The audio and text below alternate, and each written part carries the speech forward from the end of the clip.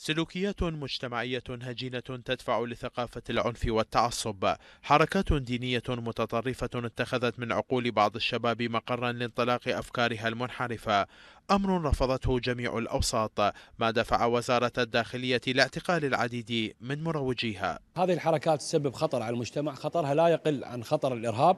لذلك لدينا الكثير من المتهمين في هذا الإطار ألقي القبض عليهم من قبل الوكالات الاستخبارية وأجهزة وزارة الداخلية ومستمرين بهذا الجانب سواء جانب التوعية أو جوانب تنفيذ الإجراءات القانونية بحقهم ويرفض رجال دين الأفكار المتطرفة التي تدفع بالشباب للانتحار كاشفين بأن تلك الحركات بعيدة عن الأعراف والأديان السماوية.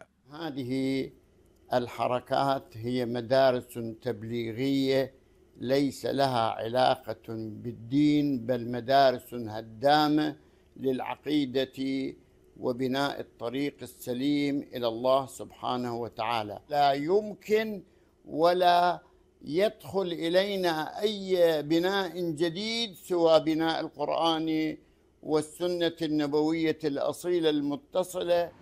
إرهاب فكري متطرف يستند لتأويلات وتفسيرات بعيدة عن القيم الإنسانية والدينية يتجه لدفع بعض الشباب نحو إنهاء حياتهم ما يستدعي ضرورة صده أمنيا وفكريا.